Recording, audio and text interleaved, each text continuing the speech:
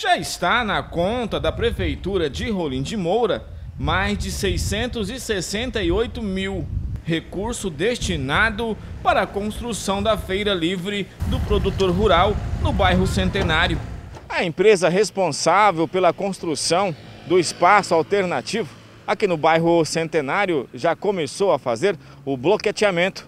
O prazo para a entrega da obra é de 150 dias. A obra que já está sendo executada vai contemplar, além do bloqueteamento do espaço, iluminação e a construção de banheiros.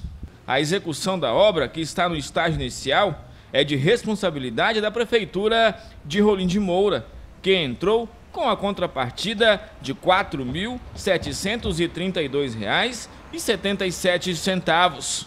Para os moradores do bairro, o espaço alternativo será de suma importância.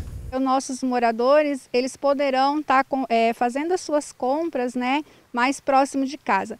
Essa emenda da deputada é, foi uma solicitação, na época era o presidente era o Gilmar, inclusive a reunião foi toda organizada pelo Mauri Anderson, na época ele era presidente da UMAN, eu não pude estar presente na reunião com todos os presidentes pelo meu trabalho, mas assim, é um, um, trabalho que vem contribuir não só com a comunidade do Centenário e do Jardim Tropical, né, que está próximo, mas com toda a cidade.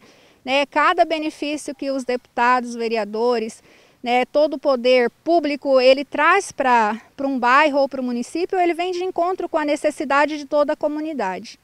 Na verdade, também é um espaço, enfim, vai, além da feira, vai servir também para eventos futuramente.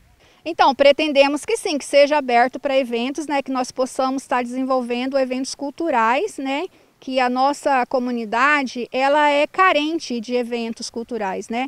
Nós temos aí uma, uma grande população de adolescente que precisa ter ocupação sadia, né, então esse espaço, ele vem de encontro com essa população, e nós pretendemos sim trabalhar essa parte cultural dentro da nossa comunidade.